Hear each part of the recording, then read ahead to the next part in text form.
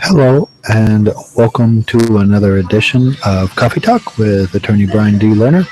Uh, we have lots of different subjects on uh, estate law and estate planning, and on this particular one, I'd like to talk about uh, why you should have a pour over will if you're doing a living trust. Now, uh, assuming you're in California, which you probably are if you're watching this, it, you need to um, the, the majority of people who do uh, good estate planning uh, will have a living trust. I mean, because it has so much more uh, flexibility and it avoids probate. I know that everybody hears that it avoids probate. And believe me, if you can do that, it'll be in your benefit because once it gets in the court system and you have to go through probate, um, everything slows down and then there's tons of paperwork on both sides and you know the the judge has 10,000 cases in front of yours and yours has no priority over anyone else's.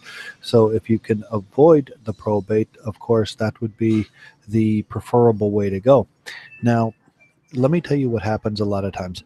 Um, the the living trust is made and then once it's made it needs to be funded okay? Um, without it being funded you have a nice living trust but you have nothing inside of it uh, which is a problem. Um, now many times uh, this the second uh, scenario that happens a lot is people will make a living trust. They'll properly do or get the attorney to properly do what needs to be done for the uh, real property. You know they'll they'll get a grant deed transferred from whatever title it currently is in, whether it's community property or you know whatever into the living trust and then you know at least the living property the real properties in there.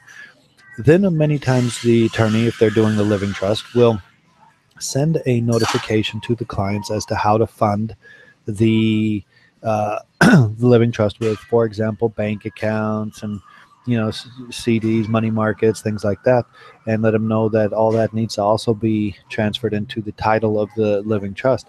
A lot of times, clients will uh, forget, not do it, not read it, think everything's done, whatever the case may be, and it ends up that a lot of the items that should have gone in the living trust don't. And then, of course, the person dies. The settlor who made the living trust dies, and then the trustee who then has the responsibility for uh, executing the terms of the living trust, goes and tries to, for example, goes to a bank and tries to get uh, the money out of the bank account and put into either the administration trust account or, um, you know, get it sent to the beneficiary and so forth. Uh, and they can't because the bank says, "Well, sorry, it's it's not in the name of a living trust.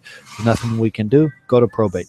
Um, and so what a pour over will does, and it, doesn't work in all cases, but it certainly is uh, worth doing, is it basically takes all of the items that are not in the living trust. If this is worded properly, it takes all of the items that are not in the living trust, and once the uh, once it's made, it actually pours it over into the living trust. So it could work for uh, bank accounts, for example, that uh, it takes an account that essentially was not properly put into the living trust.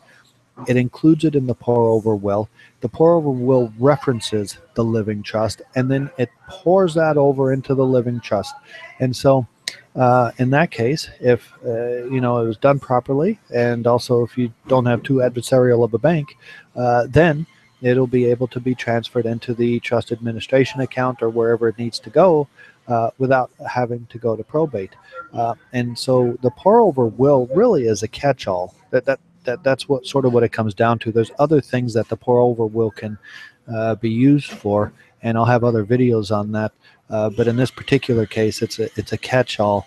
Um, you know, and what I mean by that is you can say, you know, you can have, for example, you know, in the living trust, 10 different things that go in the living trust. And let's say you forgot about, you know, your your paintings in the garage or you forgot about you know an account that you opened 20 years ago or you forgot about something or another um, that all gets into the pour over will and then it goes into uh, the trust and this is not a last will and testament. Okay, there's different kinds of wills. Uh, because the last will and testament, pretty much for those people who do that, that's all they have, and they don't have the uh, the pour over will. So you want to make sure that the pour over will is named properly. You want to make sure that it references the living trust in there. You want to make sure it makes clear that everything that's not in the living trust, or if there's any ambiguity that you wanted in the living trust, to go in there. And then from there, uh, everything should hopefully go smoother. So, a nice little tidbit for people who uh, are doing an estate plan. Um, don't just have the living trust, have the pour over will too.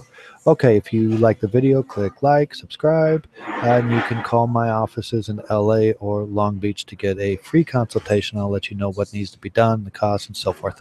Okay, more in the coming videos.